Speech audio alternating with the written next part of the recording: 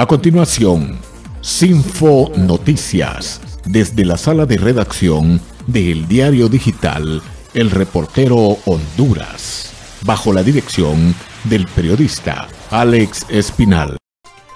Hola, sean bienvenidos a la presente emisión de Sinfo Noticias este día 10 de enero de 2023.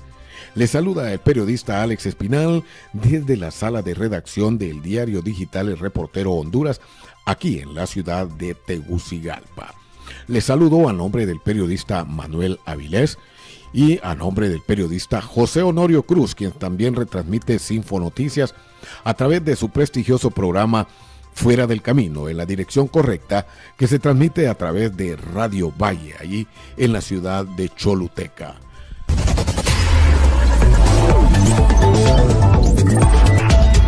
El doctor en economía, expresidente del Banco Central de Honduras, actual presidente de la Comisión de Finanzas y vicepresidente del Congreso Nacional, Hugo Noé Pino, lamentó que algunas fuerzas políticas de oposición en el país obstaculicen la pronta aprobación del presupuesto general de la República 2023, mismo que ha cumplido con una amplia y abierta socialización desde septiembre del año pasado. Para Hugo Noé Pino, el retraso en la aprobación del presupuesto 2023 en este mes de enero entorpecen y detienen el desarrollo del país que impulsa el gobierno de la presidenta Xiomara Castro.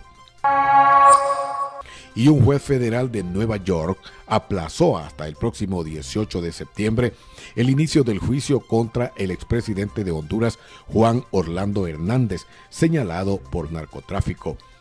La decisión se da después de que los abogados de ambas partes presentaran una carta conjunta solicitando un nuevo aplazamiento. Si bien los fiscales habían pedido que el juicio comenzara a mediados de junio y la defensa había pedido el arranque para julio o agosto, el juez Kevin Castell fijó el inicio del juicio para el 18 de septiembre. En otras noticias nacionales, el jefe de bancada del Partido Libertad y Refundación, Rafael Sarmiento, aseguró que no es cierto que viene un ambiente violento para imponer candidatos a magistrados de la Corte Suprema de Justicia. En ese sentido, el congresista por el departamento de Olancho, Rafael Sarmiento, explicó que es desafortunado argumentar que habrá actos de violencia en el Congreso Nacional para imponer las ideas o para imponer una Corte Suprema de Justicia. Eso no es cierto y la Administración Aduanera de Honduras como parte de los nuevos controles para la regularización y legalización de los auxiliares de la función pública aduanera a través de la verificación, control y seguimiento identificó y procedió a inhabilitar 36 empresas consolidadoras desconsolidadoras y de envío de mercadería que venían realizando operaciones de forma ilegal, las que debían estar registradas ante esta administración. La verificación dio inicio desde el mes de septiembre del año 2022 y se pudo constatar que dichas empresas operaban sin cumplir con los requerimientos estipulados en la normativa. Entre ellos, no contaban con autorización ni registros para operar, garantías, solvencias fiscales y no cumplían con ninguno de los requisitos establecidos en los artículos 56, 58, 59 y 61,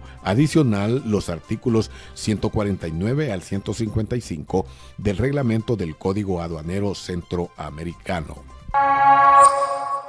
Y la Fiscalía Especial para la Transparencia y Combate a la Corrupción Pública FEDCO logró que una corte de apelaciones confirmara el auto de formal procesamiento en contra de un exfuncionario del Servicio Nacional de Acueductos y Alcantarillados SANAA acusado por ilicitudes en la administración anterior en relación al mal uso de fondos de la institución. Se trata del gerente legal Aníbal Rodríguez Humansor, a quien se le declaró sin lugar el recurso de apelación presentado por su defensa, por lo que en los próximos días irá a audiencia preliminar por suponerlo responsable de malversación de caudales públicos y violación a los deberes de los funcionarios. Intensos operativos sostiene en toda la capital la Dirección Policial Antimaras y Pandillas contra el Crimen Organizado, enmarcados en el Plan Integral para el Tratamiento de la Extorsión y Delitos Conexos, con el cual se mantiene un estado de excepción parcial en la ciudad. Las operaciones desarrolladas han permitido que hace unos instantes en la colonia El Pedregal, equipos especiales de la DIPAMCO hayan logrado ubicar y capturar a dos miembros activos de la pandilla 18, quienes son responsables de venir generando el cobro de extorsión en varias zonas de este sector de Comayagüela, además de estar relacionados a estructuras de sicariato y venta de drogas.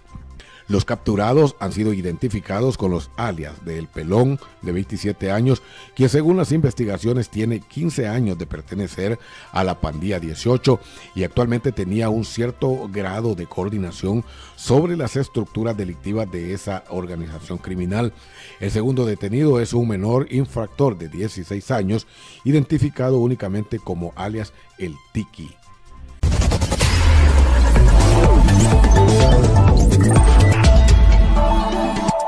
Y en el campo internacional, la cumbre de América del Norte que se celebró este martes en la capital mexicana concluyó con un pedido de parte de los mandatarios de Estados Unidos, México y Canadá hacia una mayor comprensión con las motivaciones que tienen los migrantes que dejan sus países de origen todos somos inmigrantes, dijo el presidente de Estados Unidos, Joe Biden, en intercambio con reporteros desde el Palacio Nacional de México, haciendo alusión a las trabas que ha encontrado en el Congreso de su país para hacer pasar una reforma integral a la ley migratoria. Por último, las fuerzas de seguridad de Guatemala buscan a Luis Mario Heredia, un presunto narcotraficante más conocido como el Canche Heredia, luego de que se viralizara un video en el que se le ve ingresando con un fusil a un juzgado civil en el departamento de Chiquimula, en el sur de Guatemala.